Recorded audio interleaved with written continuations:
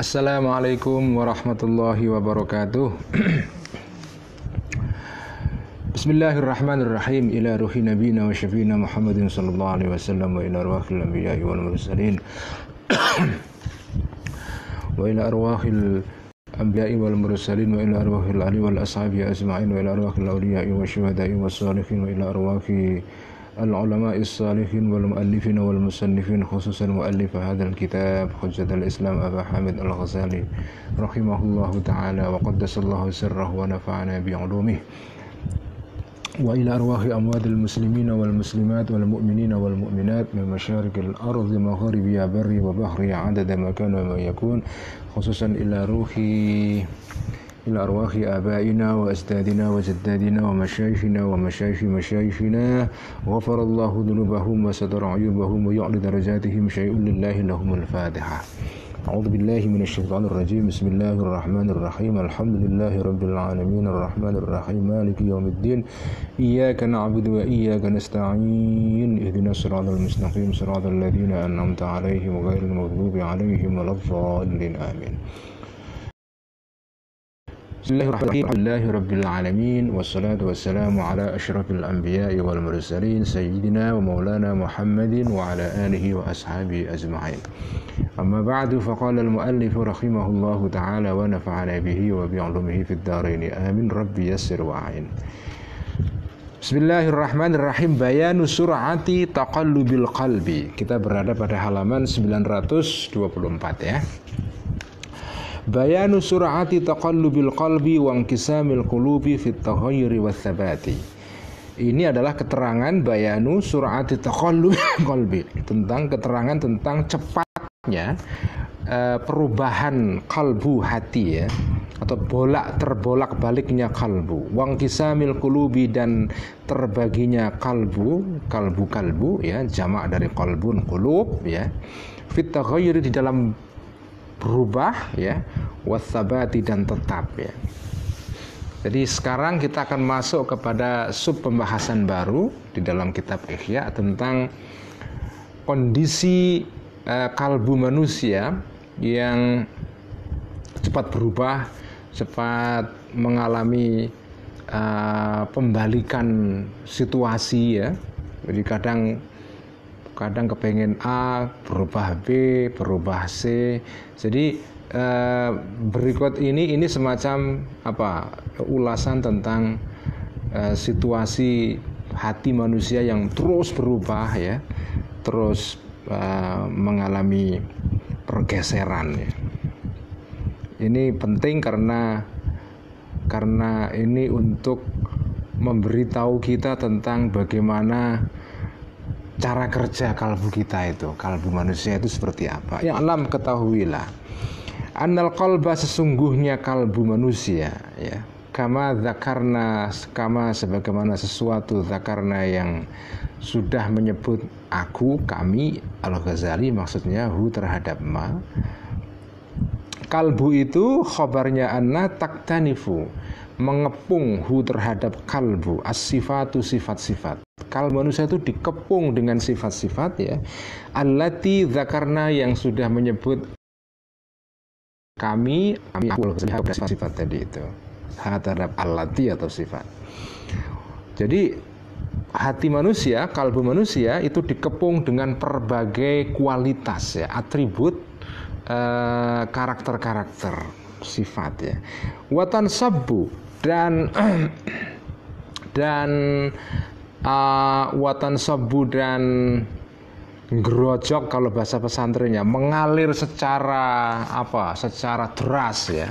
Watan sabu dan dan apa dan mengalir atau ya intan sabu gerojok mengalir ilahi uh, kepada kalbu al atharu bekas-bekas ya jejak-jejak wal ahwalu dan keadaan-keadaan ahwal ya minal abwabi berupa eh, pintu-pintu uh, atau bab-bab allati wasafna yang sudah mensifati sudah menerangkan kami Al-Ghazali terhadap athar, ahwal dan abwab ya.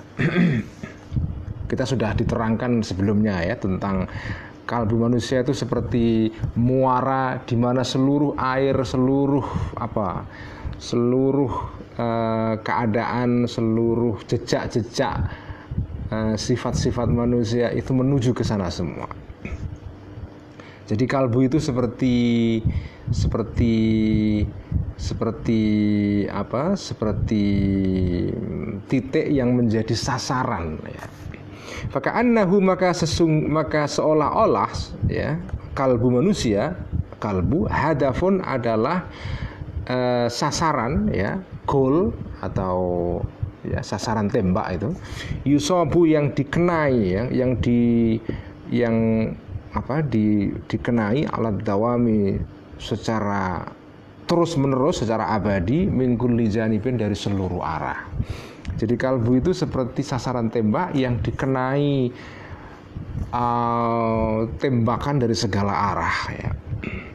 Faida asaba maka jika mengenai hu terhadap kalbu syai'un sesuatu jika kalbu manusia itu kena sasaran, kena tembakan, kena panahan ya, ya ta'atharu maka uh, ya ta'atharu maka terpengaruh kalbu tadi itu bihi dengan syai'un dengan sesuatu tadi itu asaba ya uh, oh sorry. Jawabnya faida asoba faida asoba maka ketika mengenai hu kepada kalbu syai'un sesuatu ya ta'atharu yang terpengaruh kalbu tadi itu bi dengan sesuatu itu jawabnya ida asoba maka mengenai hu kepada kalbu tadi itu e, min janibin dari sisi akhara yang lain ma sesuatu yudodu yang menolak ya yang berlawanan hu terhadap uh, apa itu? Yudatu yang berlawanan uh, ma tadi itu hu terhadap syai'un tadi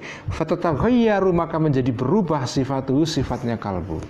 Jadi kalau manusia itu jadi itu itu paradoksnya ya. Kalau dia dikenai sesuatu dia terkena tembakan dari satu arah maka akan muncul sesuatu yang lain dari arah sebaliknya yang uh, berlawanan dengan sesuatu yang tadi itu. Jika di satu saat ada tembakan yang membuat kalbu itu sedih, maka ada ada sesuatu yang lain yang mengenai kalbu itu yang membuatnya dia gembira. Itulah apa keadaan kalbu manusia ya. Kalau ada faktor-faktor yang membuat dia sedih, maka nanti di saat yang lain ada faktor-faktor lain yang membuatnya dia gembira. Dan juga sebaliknya. Ya. Jadi itu yang menjelaskan kenapa kalbu manusia itu seperti objek yang ditarik-tarik dari segala arah. Ya ada tarikan yang membuat dia sedih, ada yang membuat dia gembira, ada tarikan yang membuat dia uh, galau, ada tarikan yang membuatnya dia merasa penuh dengan semangat ya. Kadang optimis, kadang pesimis ya.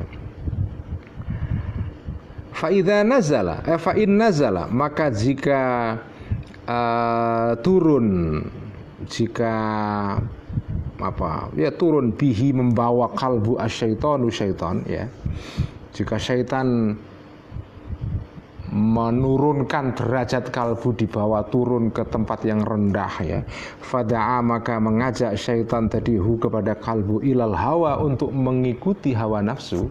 Jadi jika ada tarikan syaitan yang membawa kalbu kita turun ke dataran yang rendah ke tingkatan yang rendah untuk melakukan sesuatu yang hina berupa hawa nafsu maka nazala maka turun uh, bihi membawa kalbu al malaku malaikat wasarafa dan membelokkan malaikat tadi itu hu kepada al kalbu anhu dari uh, anhu dari al hawa tadi ya dari hawa nafsu. Jadi kalau syaitan suatu saat bekerja mempengaruhi kalbu dan berhasil, maka di sisi yang lain datang malaikat me melawan uh, kerja syaitan itu, menangkalnya. Ya itu jadi kalbu itu seperti seperti apa? Ya, seperti objek yang dipertarungkan yang di uh, perebutkan antara syaitan di satu sisi dan malaikat di sisi yang lain. Wa in dan jika menarik jika ya menarik hu kepada al qalbu syaitanun syaitan ila syarrin kepada satu kejahatan suatu keburukan zadzaba maka akan menarik hu kepada kalbu syaitanun syaitan akharu yang lain ila ghairihi kepada selain syarrun tadi itu kalau ada syaitan dalam diri kita mengajak kalbu mengajak untuk melakukan satu kejahatan A maka ada syaitan lain yang juga ingin mengajak kalbu melakukan kejahatan yang lain. Belum selesai kejahatan ini, kepengen yang lain lagi. Persis keadaan kalbu kita itu, itu digambarkan persis seperti perilaku orang-orang sekarang yang menggunakan perilaku eh, orang-orang uh, yang menggunakan gadget itu loh, ya. Baca sesuatu belum selesai terus kemudian karena ada apa itu link atau tautan di tengah-tengah bacaan itu diklik pindah ke bacaan yang lain bacaan yang lain dibaca belum selesai karena ada tautan diklik lagi pindah ke terus begitu nggak ada selesai-selesainya jadi itu perilaku kalbu kita hati kita itu yang terus berubah-ubah dari satu ke kondisi ke kondisi yang lain persis digambarkan dengan uh, habit atau perilaku pembaca di era digital sekarang. Tidak pernah kita bisa menetap pada satu bacaan secara konstan dalam waktu yang lama. Kita tergoda pindah-pindah-pindah karena pindah itu hanya ngeklik aja. Kita klik itu bisa pindah ke ke ke bacaan yang lain. Bacaan yang lain juga nggak akan kita baca selesai, walaupun pendek-pendek padahal. Ya, jangankan baca buku segini itu dulu zaman sebelum ada uh, teknologi digital ini saya itu ya sering kali baca buku dari satu sampul ke sampul from cover to cover selesai itu. Seminggu bisa dapat tiga empat buku. Itu sering kita lakukan. Sekarang mana ada ya. Kita nggak betah lagi sudah. Daya tahan mental kita untuk berhadapan dengan satu objek lalu bertahan di situ dalam waktu yang lama tanpa terganggu oleh yang lain-lain itu sudah hilang, sudah turun total ya, drastis turunnya. nah, situasi kalbu manusia itu ya kira-kira persis seperti itu. Bahkan berbuat kejahatan pun itu pun nggak nggak bisa fokus juga. ini ini contohnya ya. Uh, berbuat kejahatan satu belum selesai ditarik oleh syaitan atau kekuatan jahat yang lain melakukan kejahatan yang lain lagi bahkan melakukan kejahatan dan keburukan pun kita nggak bisa fokus juga itu itu itulah kalbu manusia. Seperti itu karakternya. Wa in dan jika menarik hu kepada al kalbu malakun seorang malaikat ila khairin kepada satu kebaikan maka jadaba akan menarik uh, hu kepada kalbu akharu ya bacanya akharu eh, malaikat yang lain bukan akhorun ya akharu malaikat yang lain ila ghairihi kepada selain eh, apa itu khairun berbuat kebaikan juga sama satu belum selesai pindah lagi pindah lagi pindah lagi Fataratan maka kadang-kadang yakunu adalah adalah kalbu kita ini mutanazaan diperebutkan baina malaka ini di antara dua malaikat. Kadang-kadang kalbu kita ini menjadi rebutan di antara dua malaikat ya. Masih mending kalau dijadikan rebutan antara dua malaikat. Yang payah kalau wataratan dan kadang-kadang baina syaitona ini antara dua syaitan. Itu yang bahaya Wataratan dan kadang-kadang baina malakin jadi rebutan antara malaikat ya wa syaitanin dan syaitan. La yakunu tidak pernah ada ya kalbu kita ini kotu sama sekali muhmalan uh, diistirahatkan, dibiarkan secara apa? secara apa dibiarkan tidak diganggu itu nggak pernah kalbu manusia itu tidak pernah sedetik pun e, mengalami situasi istirahat tanpa ditarik-tarik oleh kekuatan-kekuatan ini dengan kata lain ya kalau di dalam diri kita ya sekali lagi ini kembali kepada keterangan saya kemarin syaitan dan malaikat ini kan dua-duanya adalah sifat-sifat ya e, menggambarkan sifat-sifat buruk maupun baik yang ada dalam diri kita yang terus berperang kan. Dan peperangan ini tidak pernah sedetik pun berhenti. Terus memperebutkan hati manusia untuk apa berpihak ke kanan atau ke kiri ya ke kekuatan baik ke malaikat atau ke syaitan Wa ilaihi dan kepada pengertian seperti ini al isyaratu isyarah ya uh, alusi atau uh, menyinggung biqaulihi dengan firman Allah taala wa nuqallibu afidatahum wa absarahum. Wa nuqallibu dan membolak-balikkan aku Allah maksudnya afidatahum kepada uh, kalbu atau fuadnya fuad di sini artinya adalah kalbu manusia wa dan pandangan atau mata manusia ya. Artinya baik mata lahir maupun mata batin itu selalu dibuat oleh Allah ber, apa, mengalami situasi bolak-balik. Kadang A, kadang B. Mata kita juga gitu kan. Kalau lihat barang itu ya apa nggak pernah bisa tenang. Apalagi kalau kita sedang jalan-jalan di mall ya. Mata kita terus siapa itu uh, memandangi barang-barang.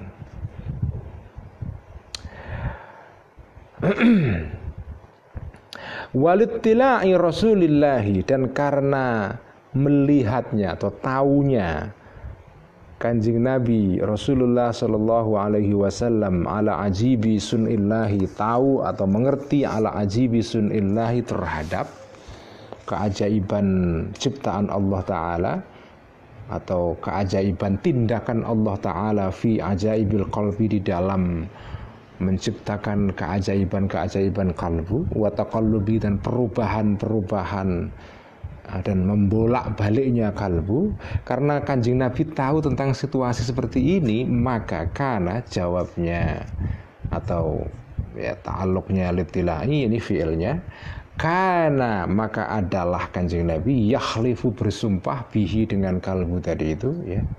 Uh, fayaqulu maka berkatalah kanjeng Nabi. Karena kanjeng Nabi ngerti betapa hati manusia itu seperti itu keadaannya, maka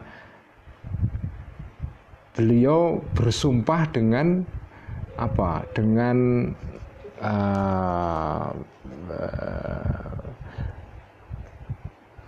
apa dengan dengan kalbu yang seperti itu atau dengan Allah karena adalah kanjeng Nabi yakhlifu sumpah Allah kanjeng Nabi bihi kepada atau terhadap atau dengan Allah yang membuat hati manusia selalu mengalami situasi bolak-balik seperti itu. Bihi di sini kembalinya kepada Allah, tapi Allah yang tadi itu yang e, menciptakan e, hati yang selalu bolak-balik, selalu mengalami perubahan itu ya.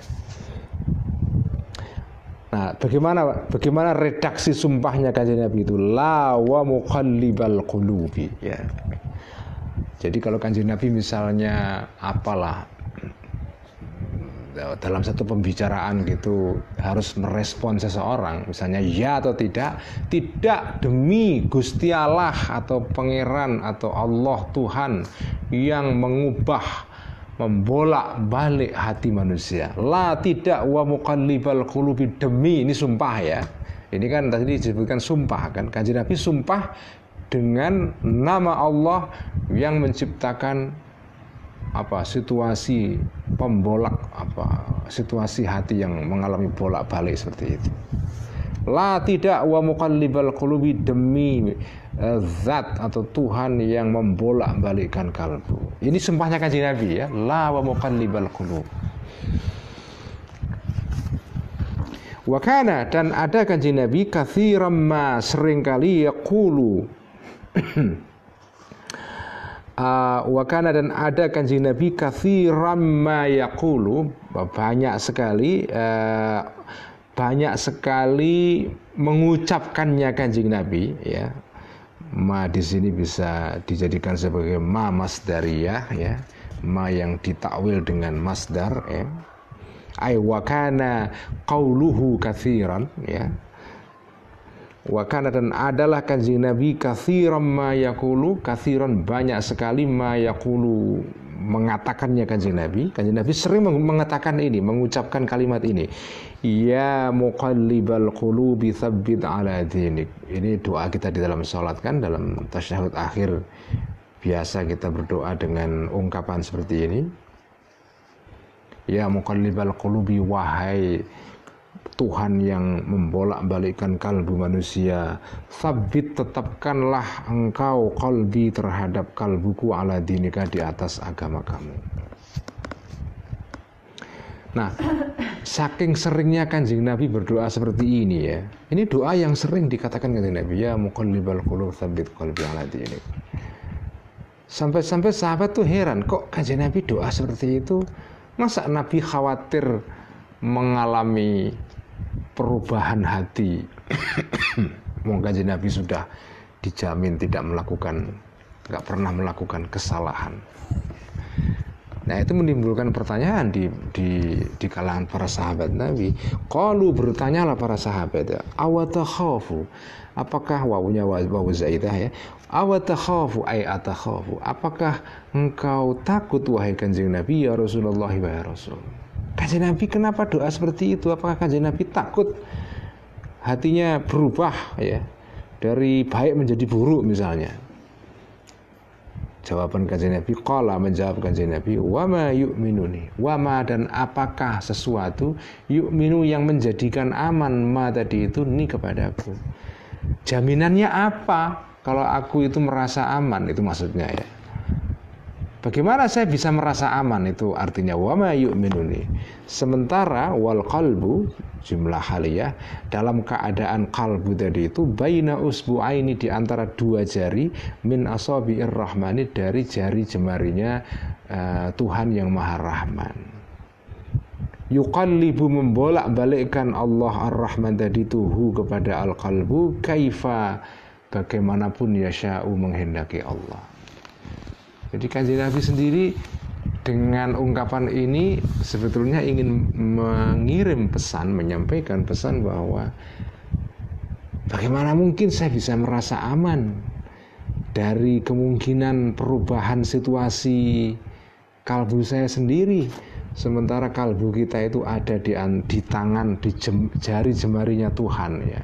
Jadi bisa dibolak-balik sesuai dengan kehendak Tuhan itu Ya tentu di sini ketika dikatakan bahwa apa Tuhan punya jari itu bukan berarti terus Allah punya jari beneran. Ya ini ini ungkapan metaforis ya.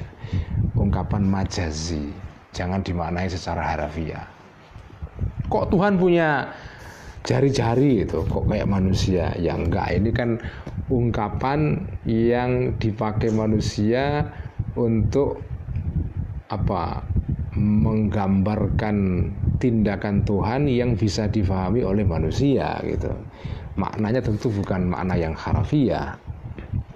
Wa fi dan di dalam satu redaksi ungkapan ya akhara yang lain dalam ungkapan hadis yang lain redaksinya seperti ini insya'a an yuqimahu aqamahu wa insya'a an yuzighahu azaghahu insya'a jadi redaksi hadisnya wa ma yu'minuni wal qalbu baina usbu'aini min asabi'ir rahmani. Terusannya insya'a.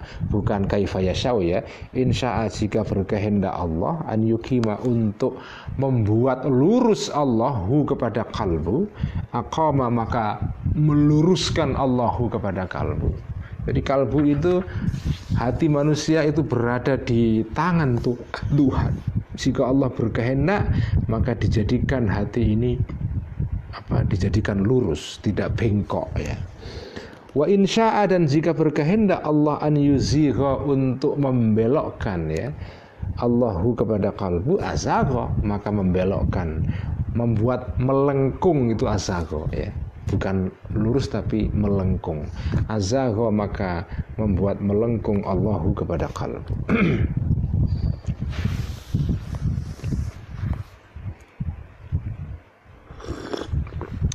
wadaraba dan membuat ya. Kanjing Nabi Shallallahu Alaihi Wasallam lahu kepada kalbu. Anak kanjeng Nabi membuat satu metafor ya kiasan bagi kalbu manusia itu menjadikan salah satu amfilatin tiga kiasan. Maka faqala maka berkatalah bersabda kanjeng Nabi ini kiasan yang dipakai kanjeng Nabi untuk menggambarkan situasi kalbu manusia. Masalul kolbi kiasan atau tepone bahasa pesantrennya tepone ya. Atau permisalan atau kiasannya kalbu manusia masalul osfuri itu seperti burung pipit ya. Uh, ya burung pipit. Burung kalau bahasa Jawa apa ya? Burung pipit itu apa ya burung kok jadi lupa saya emprit mana emprit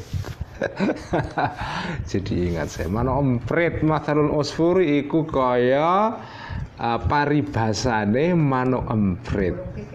Burung pipit ya, mano emprit kan.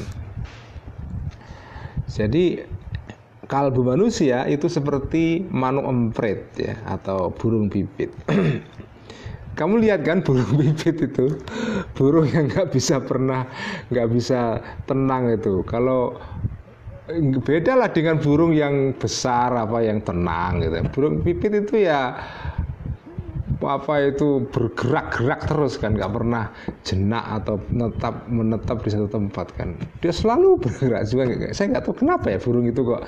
Mungkin karena dia kecil sekali sehingga dia lincah ya jadi bergerak begitu mudah gitu dia nggak pernah itu ber ber, berada pada satu tempat dalam waktu yang lama pindah-pindah terus dengan gesit banget itulah Nah itulah permisalan atau kiasan kalbu manusia. Kalbu manusia itu koyo mano emprit ya.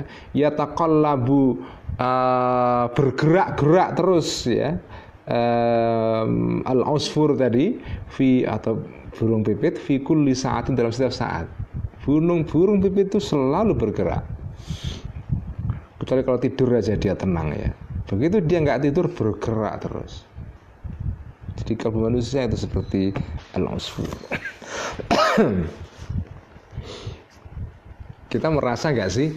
Kita sendiri kan ya kalian semua bisa ngerayangi bisa apa merogoh diri kita sendiri apakah betul tidak yang digambarkan oleh Al Ghazali mengenai situasi kalbu seperti ini? Berubah terus. Ya. walaupun tidak ada apa ya tidak ada tidak ada sesuatu yang prinsipil yang membuat kita berubah itu kalbu kita atau hati kita itu berubah aja pikiran kita cepat berubah itu ya. Meskipun konon katanya ya masing-masing orang punya apa punya sifat-sifat yang beda-beda kan. Ada yang perubahannya ekstrim ada yang tidak ekstrim ada yang setengah ekstrim kan. Itu ada watak masing-masing manusia. Ada manusia yang melankolis ada yang ekstrovert ada yang introvert ada yang um, apa itu istilahnya dalam psikologi itu macam-macam kan ya. Um, jadi tapi pada intinya dengan variasi-variasi watak manusia yang berbeda-beda seperti itu, intinya manusia itu pikirannya cepat berubah. Itu intinya. Itu sudah gawan bayi apa uh, watak manusia. Wakala dan bersabda berkata kanjeng Nabi alaihi salam ini ini kiasan yang lain ya kiasan yang pertama kalbu manusia itu seperti burung pipit kiasan kedua masalul qalbi ya. Kiasannya kalbu manusia fi taqallubihi di dalam perubahan di dalam mudah berubahnya kalbu manusia tadi itu. Kal seperti eh, panci. Seperti kendil kalau bahasa pesantrennya kendil panci. Idza stajma'at ketika apa itu? Ketika penuh ya golayanan umupe apa um, mendidihnya golayanan mendidihnya ya. Itulah kalbu manusia. Seperti panci yang dipakai untuk memasak air kemudian airnya sedang mengalami titik uh, titik apa namanya boiling point titik mendidih. Jadi airnya kan bergejolak itu pada saat dia mendidih itu. Ya yaitu kal kalbu manusia hati manusia pikiran manusia itu seperti panci yang sedang mendidih airnya bergejolak. Itu kiasan kedua. Kiasan ketiga wakala dan berkata kasih Nabi masalul qalbi kiasan kalbu manusia itu kamathali rishatin Nah ini ini indah banget ini kiasannya. Kamathali rishatin seperti uh, apa? seperti apa itu? Uh, feather Mbak Inas? Bulu. Kok bisa lupa itu loh? Kama tadi rishatin seperti bulu fi ardi falatin di dalam tanah ororo apa padang pasir ya padang terbuka maksudnya falatin itu.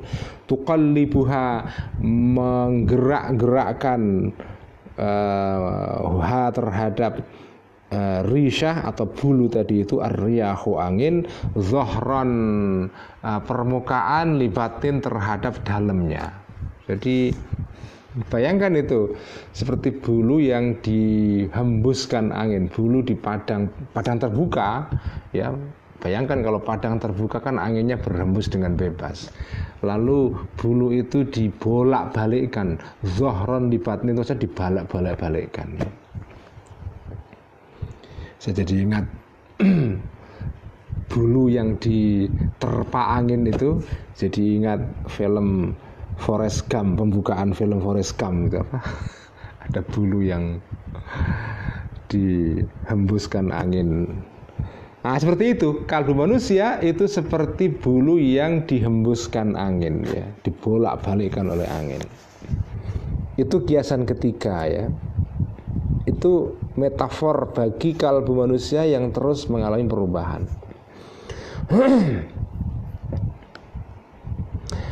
Wahadhihi taqallubatu ya dan perubahan-perubahan kalbu semacam ini wa ajaibu sunillahi dan keajaiban-keajaiban. Tindakan Allah fi taqallubiha di dalam berubah ubahnya kalbu atau taqallubat ya. Min haitsu la tahdi ya. Uh, dari arah yang tidak bisa tahu ya.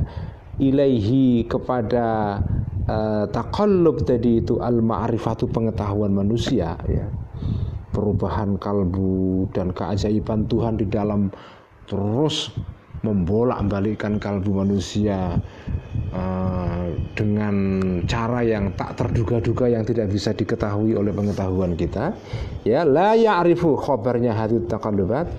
La ya'rifu tidak bisa mengetahui ha kepada taqallubat ini perubahan-perubahan ini illal muraqibuna kecuali orang-orang yang apa? Muraqibun terus menelaah kalbu terus mengawasi itu muraqibun orang yang terus awas dengan dirinya sendiri tidak pernah tidak pernah lengah tidak pernah lali atau alpa. Wal murauna dan tidak diketahui kecuali wal murauna dan orang-orang yang memonitor, memantau ya li ahwalihim kepada ahwal, kepada kondisi kalbunya al muraun tadi itu ma'allahi bersama Allah taala ya. Jadi yang yang bisa mengetahui gerak-gerik kalbu seperti ini, yang bisa melakukan penelaahan dengan cermat itu hanya orang-orang ya yang memang pekerjaannya terus melakukan muraqabah ya, melakukan uh, otokritik ya, menelaah terus dirinya sendiri. Bukan menelaah orang lain bukan. Jadi ini watak atau uh, perangai kalbu yang seperti ini itu tidak bisa diketahui kecuali oleh orang yang membiasakan diri untuk menelaah ke dalam dirinya. Itu namanya al-muraqibun wal muraqun ya. Bukan orang yang kesenangannya justru menelaah tindakan orang lain sampai lupa dirinya sendiri. Nah, kalau kalau kamu kebiasaannya adalah menelaah perilaku, tindakan dan kalbunya orang lain lupa terhadap kalbu kamu sendiri, hati kamu sendiri ya kamu nggak akan tahu. Kamu lebih sensitif melihat kesalahan hatinya orang lain ketimbang kau melihat kesalahan diri kamu sendiri. Nah orang yang pekerjaannya terus melongok keluar menelaah dan meneliti kesalahan orang lain sudah pasti dia akan abai terhadap kesalahan dirinya sendiri. Itulah sebabnya kenapa ilmu tasawuf itu penting buat kita karena ilmu tasawuf ya itu mengajari kita supaya kita itu terus lebih banyak fokusnya itu ke diri sendiri, menelaah diri sendiri, melakukan otokritik, bukan menunjuk-nunjuk orang lain, menghakimi orang lain seperti kebiasaan orang-orang sekarang ini kan. Lebih suka melihat ya bukan orang sekarang aja lah dari dulu orang itu kan watak gini. Kenapa manusia itu tidak cenderung tidak sadar terhadap watak-watak yang ada pada kalbunya atau hatinya sendiri? Karena menyadari kelemahan-kelemahan atau kekuatan di dalam diri kita sendiri di dalam kalbu kita sendiri itu kadang-kadang menyakitkan orang yang menyadari bahwa kita itu punya kelemahan dalam diri sendiri itu kan itu itu kan painful ya. Menyakitkan itu kan. Karena itu orang cenderung tidak mau. Orang lebih suka situasinya itu adalah atau kecenderungannya adalah menunjuk orang lain sebagai sumber kesalahan. Jadi lebih ke apa itu blaming others ya. Menyalahkan orang lain menjadikan orang lain sebagai kambing hitam dan selalu denial, apa, self denial, menolak bahwa dirinya sendiri itu sebetulnya bermasalah itu. Ini sih manusiawi ya, ya semua orang seperti itu. Itulah watak manusia. Karena itu orang yang bisa meninggalkan watak alamiah seperti itu bisa menghindari kecenderungan kita yang selalu denial denial itu itu tidak semua orang. Itulah orang-orang yang oleh Al Ghazali di sini disebut sebagai orang al muraqibun ya. Orang yang mungkin bisa kita maknai di sini al muraqibun itu orang-orang yang tidak melakukan self denial itu al muraqibun ya. orang-orang yang tidak senengnya itu uh, nyalain orang lain dan menolak bahwa dirinya itu sebetulnya juga punya andil dalam kesalahan itu. Itu namanya al-muraqibun ya.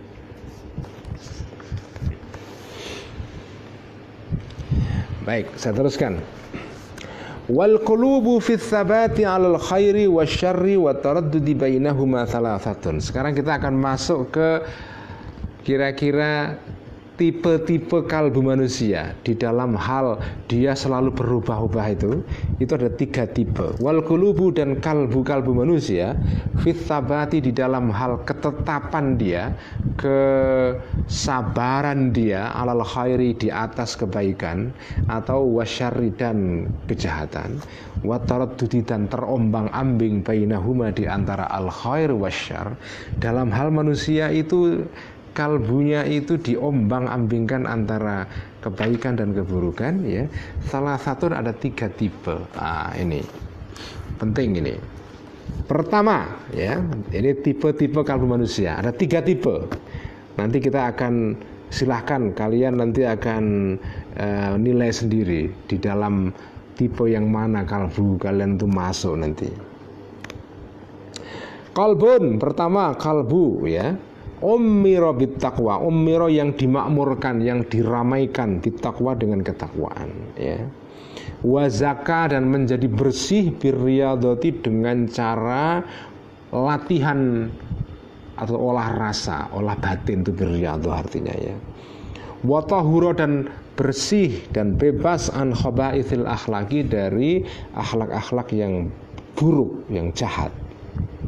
Itu tipe pertama ya kalbu yang penuh dengan takwa, selalu melakukan olah batin dan bersih dari sifat-sifat yang buruk. nah, kalbu yang seperti ini tangkodihu ya, menjadi uh, inqadaha itu seperti orang menyalakan api dari batu itu loh. Cerak ngapa? Dulu kalau orang kalau bikin api itu kan dua batu digesekkan gini sehingga apinya meletik apinya kemudian uh, muncul. Itu ingkodaha ingkodaha itu artinya kamu menggesek batu untuk membuat api. Tangkodihu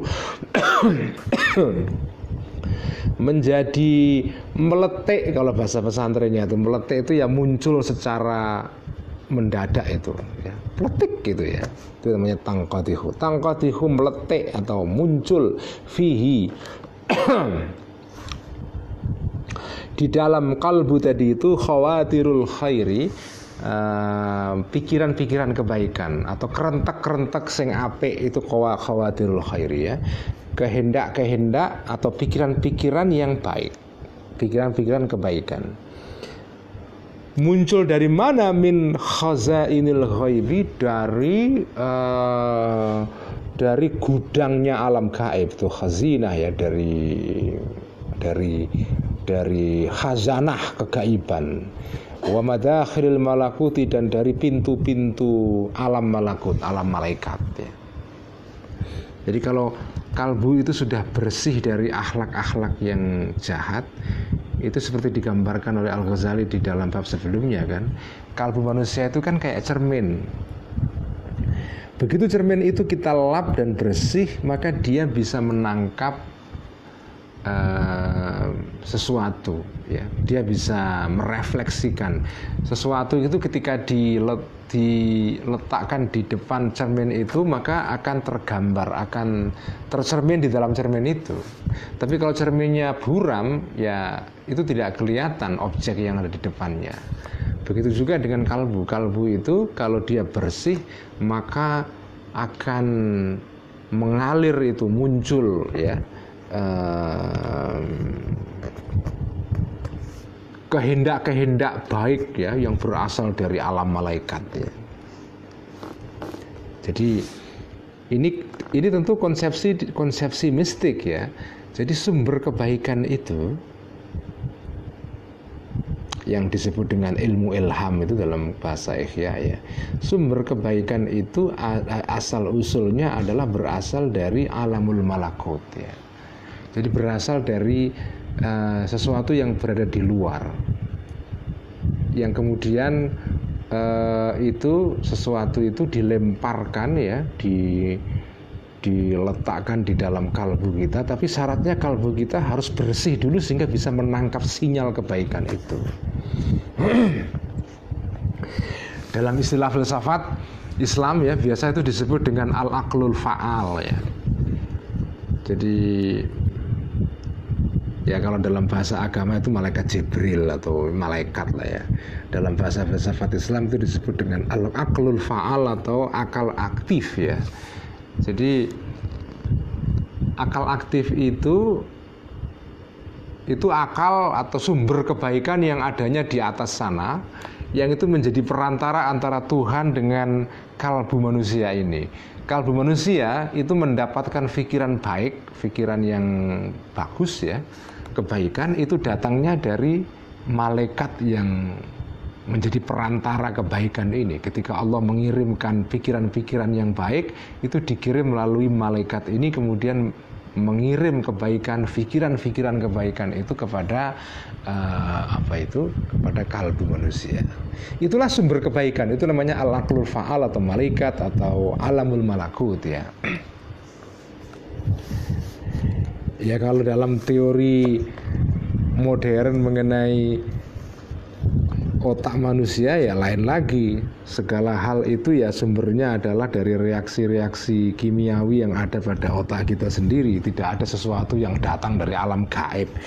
Yaitu pandangan yang materialistik ya.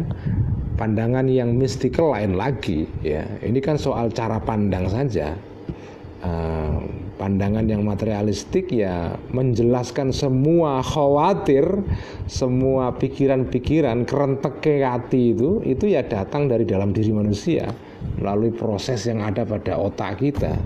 Tapi di dalam pandangan orang yang punya punya wawasan mistik atau tasawuf yang beriman ya kepada hal yang gaib tentu lain. Jadi yang disebut dengan kebaikan itu sumbernya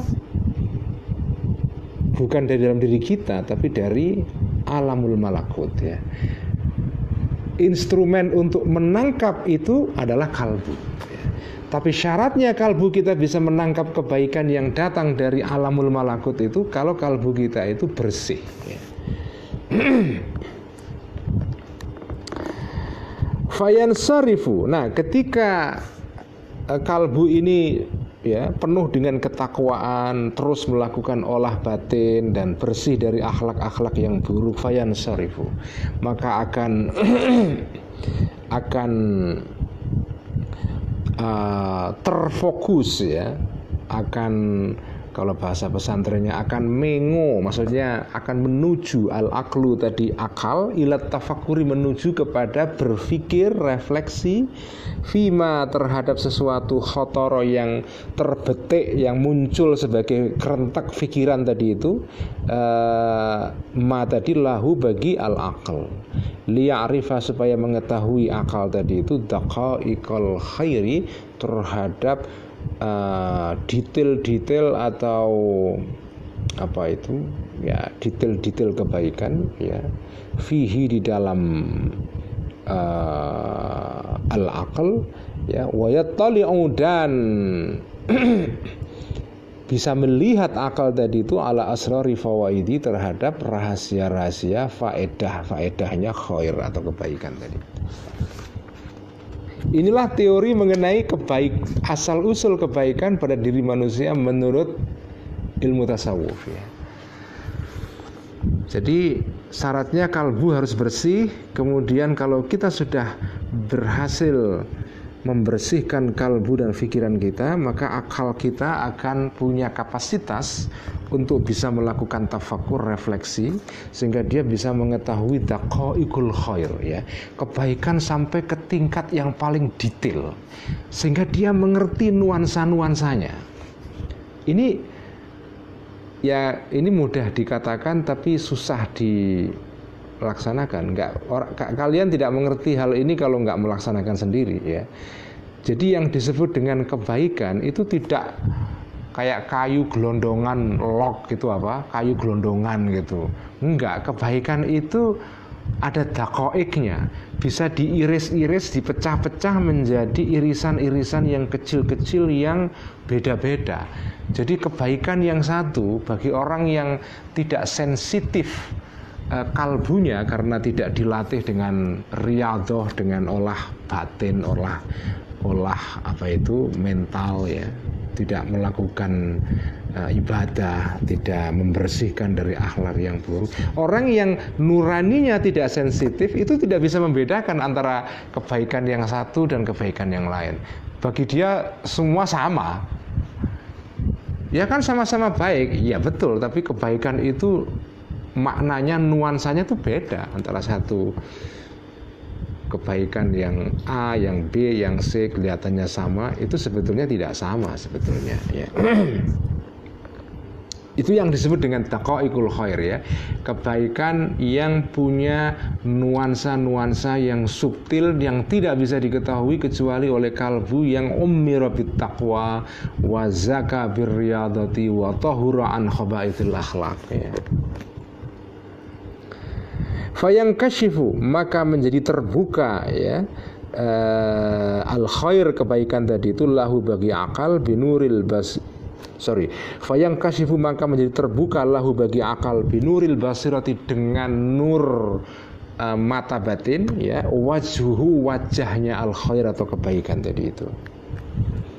Jadi kalau dia sudah punya berhasil membersihkan diri akhirnya dia bisa melihat wajah kebaikan secara hakiki.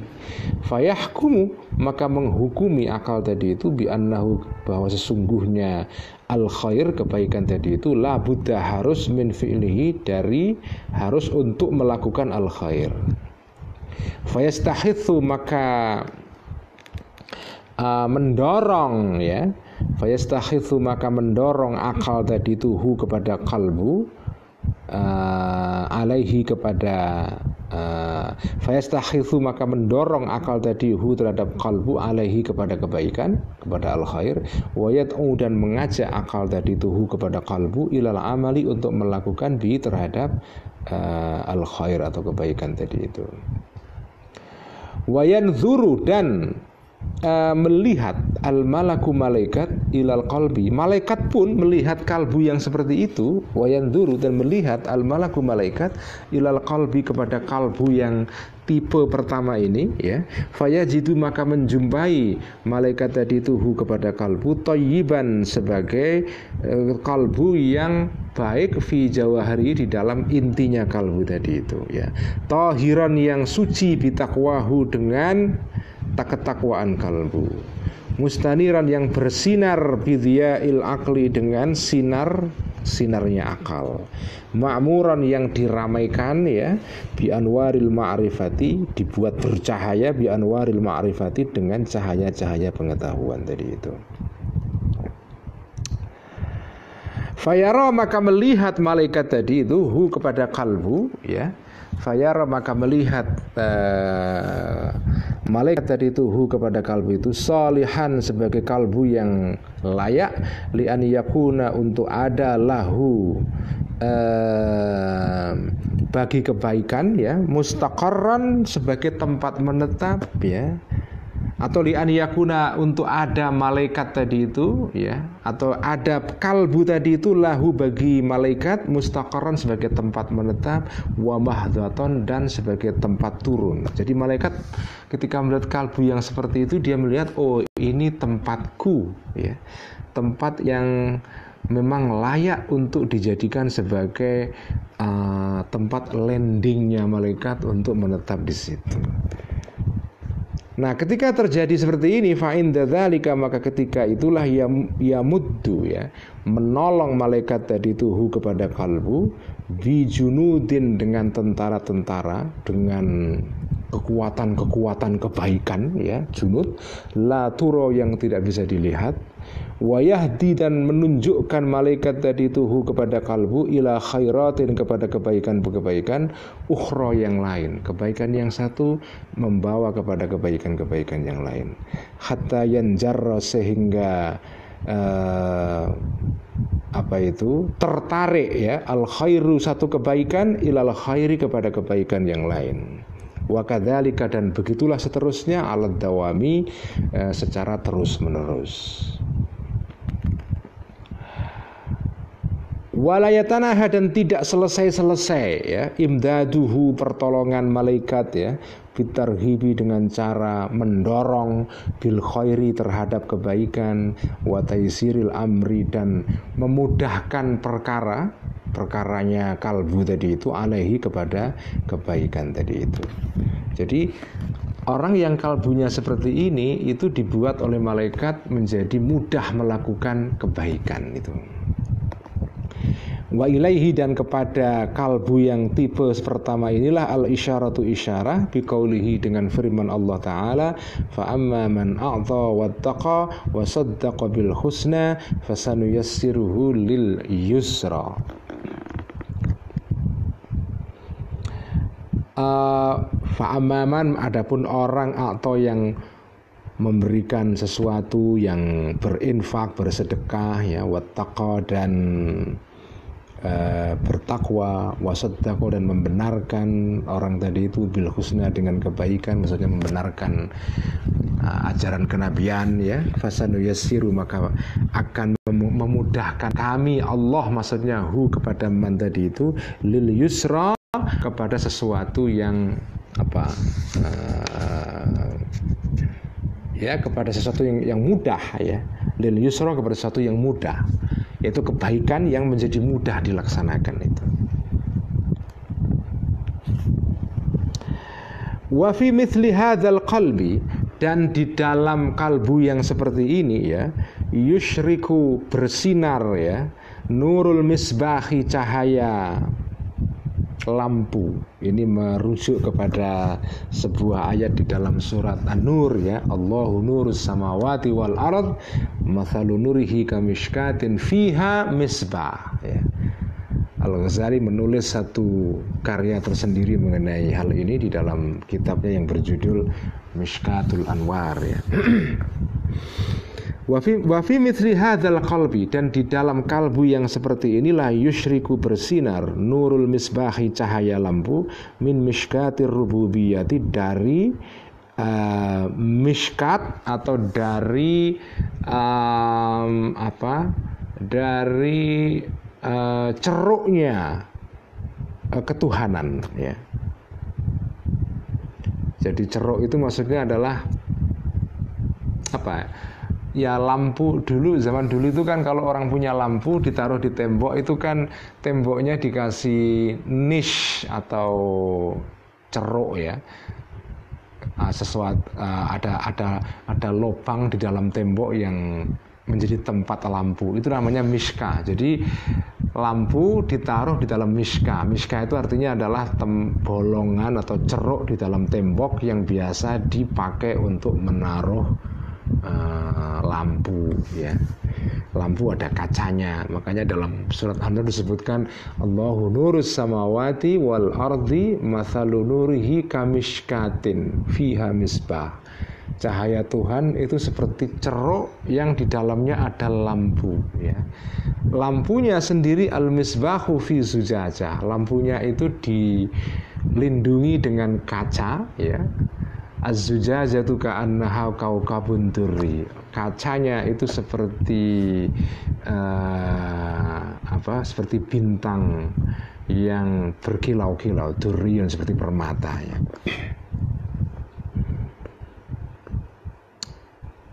Nah itu jadi kalbu yang seperti ini itu kemudian memancar cahaya dari lampu yang berasal dari ceruknya ketuhanan. Bayangkan itu. Ya lagi-lagi di pandangan mistik ya. Kalau kalian pandangannya adalah materialistik ya nggak akan percaya kayak gini-gini.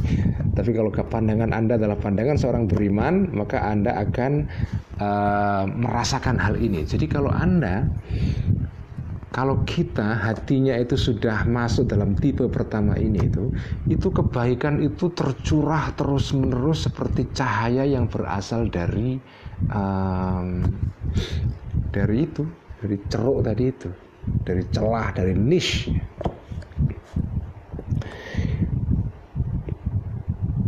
Ini ini pandangan yang kalau kalau anda akrab dengan sejarah filsafat Islam dan filsafat Yunani ini pandangan yang khas ah, neoplatonistik ya.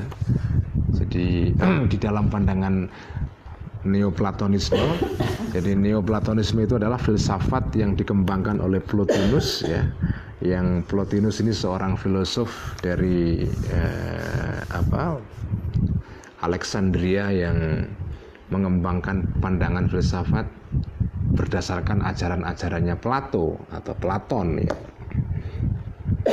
Nah, di dalam pandangan Neoplatonisme ini ya seluruh apa alam raya ini itu tercipta melalui perantaraan tadi itu yang disebut dengan akal aktif ya.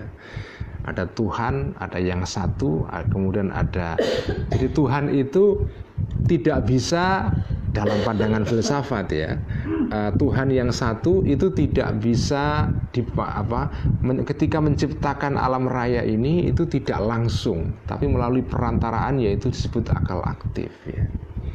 Karena kalau Tuhan langsung menciptakan alam raya ini itu itu ada masalah.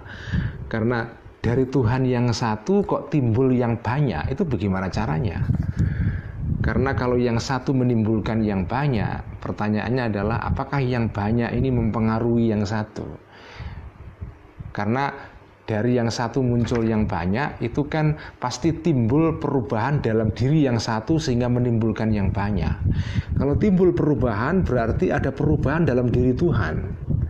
Tuhan kan tidak berubah, yang berubah itu kan alam raya ini. Karena dalam alam raya ini ada unsur yang disebut dengan jauhar dan arot atom dan apa itu aksiden dalam. Lagi-lagi ini pandangan filsafat Islam dulu ya yang sangat dipengaruhi oleh filsafat Yunani.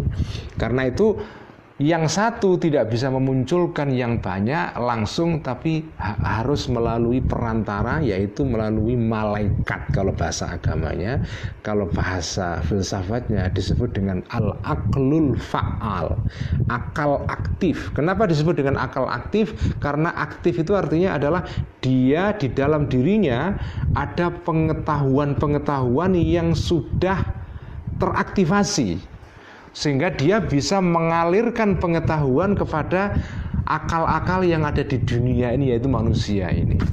Dan ketika akal aktif ini mengalirkan pengetahuan kebaikan apa pun lah ya kepada akal-akal atau anufus ya, nafsu-nafsu atau jiwa intelek manusia yang ada di bumi ini itu caranya adalah dengan seperti cahaya matahari yang memancar dari atas ke bawah. Karena itu bahasa yang dipakai nur di sini. Makanya saya sebut ini adalah pandangan yang neoplatonistik. Uh, ya itu sangat kuat unsur neoplatonismenya. Ya bisa dimaklumi karena Al Ghazali dulu pernah belajar atau mempelajari filsafat Ibnu Sina dan Al Farabi dan Ibnu Sina itu juga menyerap sejumlah pengaruh-pengaruh dari ajaran-ajaran uh, Plotinus ya secara tidak langsung. hatta la yakhfa sehingga tidak ketika kalbu manusia itu sudah terkena sinaran lampu yang berasal dari ceruk Tuhan. Nah gitu ya. Hatta la yakhfa sehingga tidak menjadi samar fihi di dalam kalbu tadi itu. Asyirku syirik ya. Al khafiyu yang samar. Karena ada syirik yang samar. Alladzi huwa yang syirik khafi itu. Kalau syirik yang jelas-jelasan itu semua orang tahu menyembah objek selain Tuhan itu namanya syirik yang zohir tapi ada syirik jali tapi ada syirik yang samar. Alladhi huwa yang syirik yang khafi itu akhfa lebih samar min dabibin namlati dari geremet dari geremetannya apa geremetan itu apa? Merang rangkakannya semut ya as yang hitam fil lailati di dalam malam az yang gelap syirik khafi itu seperti merangkaknya, geremetnya semut, geremetnya semut yang hitam di malam yang gelap. Bagaimana kita bisa melihat? Nggak bisa, begitu samarnya itu ya. Tapi kalau orang kalbunya sudah tersinari oleh lampu yang berasal dari ceruk ketuhanan, maka dia bisa melihat itu. Ada syirik khafi, ada syirik syirik jali, semua orang tahu. Tapi kalau syirik yang khafi itu hanya bisa dilihat oleh orang yang punya kapasitas kalbu seperti itu. Fala yakhfa maka tidak menjadi samar ala dan nuri terhadap cahaya seperti ini yang memancar ke kalbu yang tipe pertama ini khafiyatun sesuatu yang samar. Wala yaruju dan tidak menjadi laris atau laku alaihi kepada uh, kalbu yang semacam ini syai'un sesedikit pun ya sesuatu yang sedikit pun min makayidi syaitani dari tipuan-tipuan syaitan ya. Jadi syaitan nggak bisa menipu dengan tipuan yang paling samar sekalipun itu. Bal yaqifu ya uh, bal yakifu bahkan atau sebaliknya bal yakifu bahkan yakifu berhenti asyaitonu syaitan syaitannya berhenti wayuhi dan memberikan godaan-godaan zuhrufal qauli terhadap wayuhi dan mewahyukan maksudnya memberikan inspirasi zuhrufal qauli terhadap ucapan-ucapan yang manis yang berkilau-kilau hururon uh, berupa apa tipuan ya hururon apa nih ya. Maksudnya apa nih itu tamyiz berupa kalau bahasa Indonesia berupa tipuan-tipuan. Bahkan syaitan berusaha untuk meng menggoda dia dengan ide-ide yang menarik sekali. Falayal tafitu maka tidak menoleh kalbu ini uh, ilaihi kepada uh, syaitan tadi itu ya Wahadal kalbu. Dan kalbu seperti ini saya akan teruskan sampai ke kalbu yang tipe kedua ya. Wahadal kalbu dan kalbu yang seperti ini ba'da taharati setelah sucinya bersihnya kalbu semacam ini minal muhlikati dari segala hal yang merusak. Yasiru ada alal kurbi ya. Uh, yasiru ada menjadi kalbu semacam itu alal kurbi uh, di dalam jarak yang dekat sekali kepada Allah maksudnya ya. Al kurbi di dalam jarak yang uh, dekat ya kepada Allah ya. Makmuran dalam keadaan hal ya. Makmuran dalam keadaan diramaikan dijadikan meriah. Hati tadi itu seperti kota yang meriah begitu. Bil munjiati dengan hal-hal yang menyelamatkan. Kebalikan dari muhlikat. Muhlikat adalah sifat-sifat dalam diri kita yang destruktif. Munjiat adalah sifat-sifat yang konstruktif ya. Allati sanad guru yang bakal menerangkan kami Al-Ghazali maksudnya terhadap munjiat tadi itu. Jadi kalbu seperti ini sesudah disucikan dari watak-watak yang jahat ya dari muhlikat, sifat-sifat yang destruktif, dia kemudian menjadi dekat kepada alam malakut, dekat kepada al-aqlul fa'al tadi itu dan dia terus makmur ya.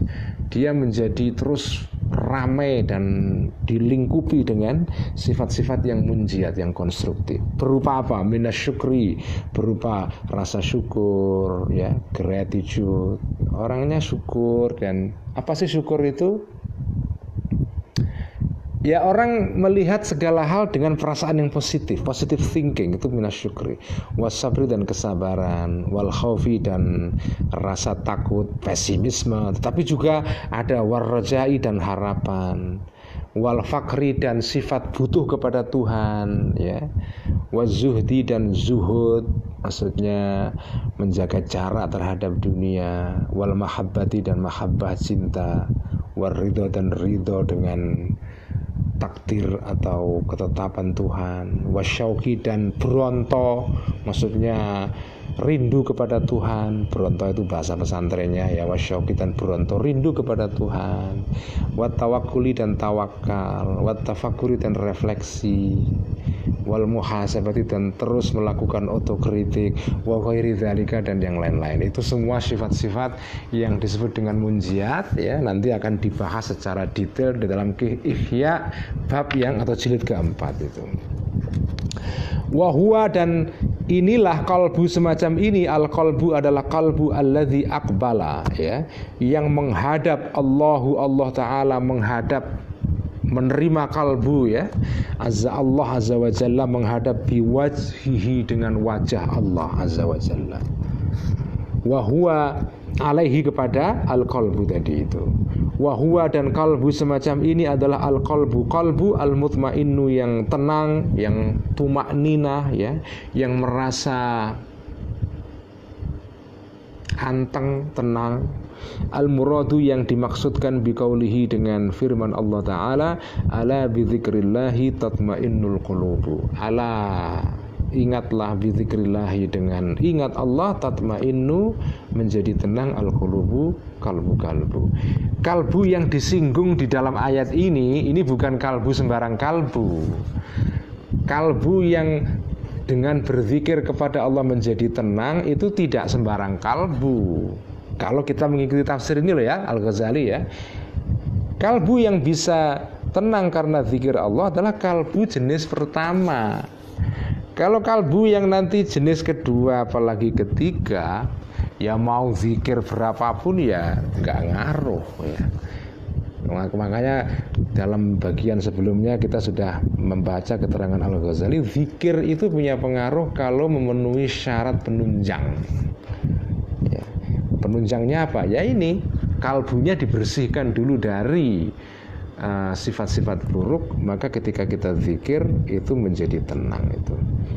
Wa biqaulihi dan yang dimaksudkan dengan firman Allah Azza wa Jalla, ya ayyatuhan nafsul mutmainnah irji'i ila rabbiki radiyatan mardiyah fadkhuli fi ibadi wadkhuli jannati. Sekian ngaji Ihya malam ini ya. Kita akan teruskan besok malam. Semoga dua pertemuan lagi kita sudah selesai dengan bab pertama yaitu tentang ajaibul qalbi yang sudah kita mulai setahun yang lalu ya. Ini ngaji Ihya setahun baru dapat segini ya. Ya, oke enggak apa-apa. Kita teruskan besok malam. Semoga bermanfaat. Mari kita tutup dengan bacaan hamdalah alhamdulillahirabbil alamin. Wassalamualaikum warahmatullahi wabarakatuh.